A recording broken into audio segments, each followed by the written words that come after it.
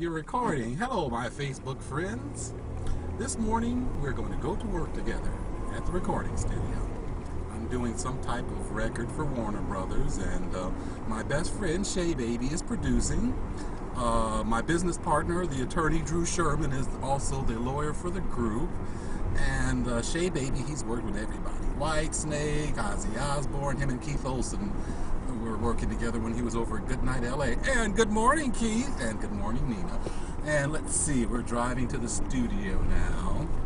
And so I'm going to just show you what happens in a recording session. 8.2 miles, turn right. That's then my car arrive talking at to me. destination on right. I'm going to arrive at my destination on the right. You see, when I go into the studio, notice my military garb. So I'm there to take care Turn of right. And you'll see my truck. I love my truck. I need to get it washed though. Okay, now let's see. The recording studio, it's kind of like a Warner Brothers annex because this is for Warner Brothers. Arriving at destination on right. It is? Oh, yeah. Here's the studio here. Oh, Clear Lake Audio. Ooh, and a parking space right out front. Well, Arriving at destination on I right. did look out.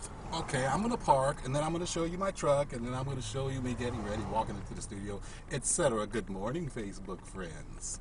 Back in a minute.